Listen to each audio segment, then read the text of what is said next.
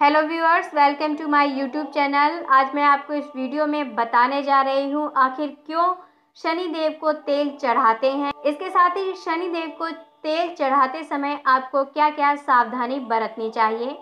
प्राचीन मान्यता है कि शनि देव की कृपा प्राप्त करने के लिए हर शनिवार को शनि देव को तेल चढ़ाना चाहिए। जो व्यक्ति ऐसा करते हैं, उन्हें साढ़े साथी और ढैया में भी शनि की कृपा प्राप्त होती है, लेकिन शनि देव को तेल क्यों चढ़ाते हैं, इसको लेकर हमारे ग्रंथों में अनेक कथाएँ हैं। इनमें से सर्वाधिक प्रचलित कथा का संबंध रामायण काल और हनुमान जी से है। शास्त्रों के अनुसार रामायण काल में एक समय शनि को अपने बल और पराक्रम पर घमंड हो गया था। उस काल में हनुमान जी के बल और पराक्रम की कीर्ति चारों दिशाओं में फैली हुई थी। जब शनि को हनुमान जी के संबंध में जानकारी प्राप्त हुई तो शनि बजरंग बली से युद्ध करने के लिए निकल पड़े।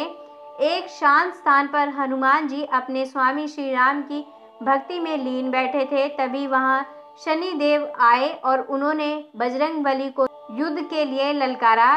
युद्ध की ललकार सुनकर हनुमान जी ने शनि देव को समझाने का प्रयास किया, लेकिन शनि नहीं माने और युद्ध के लिए आमंत्रित करने लगे।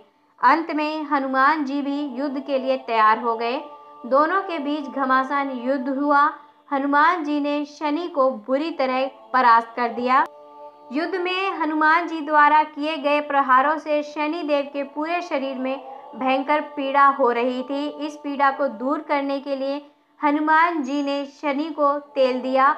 इस तेल को लगाते ही शनि देव की समस्त पीड़ा दूर हो गई। तभी से शनि देव को तेल अर्पित करने की परंपरा प्रारंभ हुई। शनि देव पर जो भी व्यक्ति तेल अर्पित करता है, उसके जीवन की समस्त परेशानियाँ दूर हो जाती हैं और धन अभाव खत्म हो जाता है। शनि देव की प्रतिमा को तेल चढ़ाने से पहले तेल में अपना चेहरा अवश्य देखें। ऐसा करने पर शनि के दोषों से मुक्ति मिलती है, धन संबंधी कार्यों में आ रही रुकावटें दूर हो जाती हैं और सुख समृद्धि बनी रहती है। ज्योतिष शास्त्र के अनुसार हमारे शरीर के सभी अंगों में अलग अलग ग्रहों का वास होता है। यानी अलग अलग अंगों के कारक ग्रह अलग अलग हैं। शनि देव त्वचा, दांत, कान, हड्डियाँ और घुटनों के कारक ग्रह हैं। यदि कुंडली में शनि अशुभ हो तो इन अंगों से संबंधित परेशानियाँ व्यक्ति को झेलनी पड़ती हैं।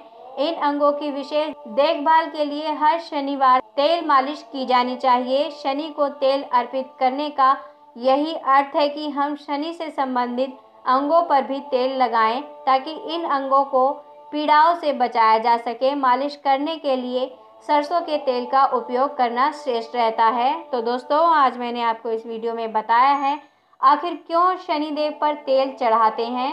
अगर आपको मेरे द्वारा दी गई ये जानकारी अच्छी लगी है तो इस वीडियो को लाइक कीजिए। अपने दोस्तों के साथ, अपने प्रियजनों के साथ इस वीडियो को शेयर कीजिए। इसके साथ ही हमारे चैनल को सब्सक्राइब करना मत भूलिएगा। धन्यवाद।